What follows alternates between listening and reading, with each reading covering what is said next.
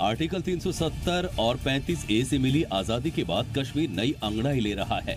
कश्मीर घाटी में धारा 144 ज़रूर है, पर अमन है, शांति है। शांतिपूर्ण तरीके से बकरीद भी गुजर गई, लेकिन न जाने क्यों कांग्रेस पार्टी पाकिस्तान परस्त और अलगाववादी नज़र से कश्मीर के सूरत हाल को पढ़ रही है। कुछ विदेशी मीडिया ने कश्मीर में हालात ठीक नहीं होने की बात कही जिसे सरकार प्रोपेगेंडा करार दे चुकी है। फिर भी कांग्रेस को सरकार पर नहीं, गलत रिपोर्टिंग पर भरोसा है। पे प्रेजेंटेशन किया गया, क्योंकि खबरें आ रही हैं कि जम्मू कश्मीर में हालात बहुत खराब हो गई है। बहुत ज़रूरी है कि पूरी ट्रांसपेरेंसी के साथ प्रधानमंत्री जी और हिंदुस्तान की सरकार देश को बताएँ कि जम्मू कश्मीर में एग्जैक्टली exactly क्या हो रहा है, हालत कैसी है कंट्रोल में है। बिल्कुल ट्रांसपेरेंसी के साथ जनता को बताना चाहिए। इसीलिए मुझे यहाँ बुलाया गया। देखिए, राहुल गांधी जी को अगर वो नेता बनना चाहते हैं देश में तो जो अपना लीडर वो बंगाल का लीडर बुलवाया उसकी जगह खुद बोलना। मैं सेफली कह सकता हूँ कि उनके सदन के नेता के भाषण के बाद कांग्रेस का इस देश में कोई भविष्य नहीं। मुझे उनके खिलाफ कैंपेन करना हो तो मैं सिर्फ़ इतना कहूँगा कि ये 370 वाले हैं। कोई वोट नहीं मिलेगा देश में। उस वक्त तो आप बैठे हुए थे, उस वक्त तो आप वो करते रहते हैं, उस पर टेलीफोन पर खेलते रहते हैं। और अचानक आपको पता चल गया कि जम्मू कश्मीर में गड़बड़ हो है और आप बाहर आ गए। ये इतना एक फरेबी बात है, समझ में आने वाली बात नहीं है।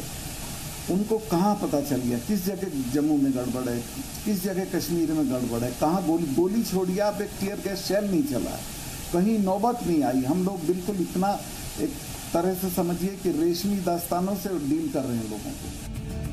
राज्यपाल सत्यपाल मलिक ने राहुल गांधी को सच के आईने से रूबरू होने के लिए कश्मीर घाटी आने का न्योता दे दिया और कहा कि हम उनके लिए हवाई जहाज़ भी भेज देंगे। इसके बाद राहुल गांधी ट्वीट ट्वीट खेलने लगे और देखते ही देखते राहुल और राज्यपाल के बीच जुबानी जंग छिड़ गई। के तौर पे काम नहीं करते, बल्कि इंडिपेंडेंटली काम करते हैं। उन्होंने जो बयान दिया, मुझे उनसे, उन जैसे सीनियर आदमी से इतने बचकाना बयान की उम्मीद नहीं थी कि वो सिर्फ़ राहुल जी के लिए कहें कि हम आपको हवाई जहाज़ भेजने के लिए तैयार हैं और आप आ जाइए और देख लें सिचुएशन राहुल जी वहाँ पर टूरिज़्म के लिए नहीं जा रहे हैं।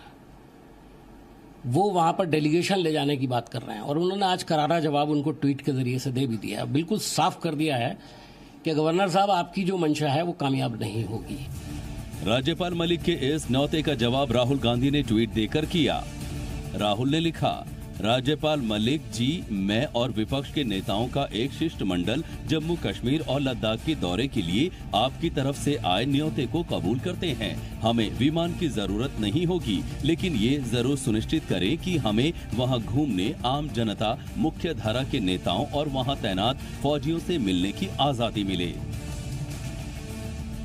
राहुल ने कश्मीर के दौरे के निमंत्रण पर शर्तें जोड़ी तो राज्यपाल सत्यपाल मलिक को ये नागवार गुजर गया और कहा कि वो शिष्टमंडल के बहाने घाटी में अशांति फैलाना चाहते हैं।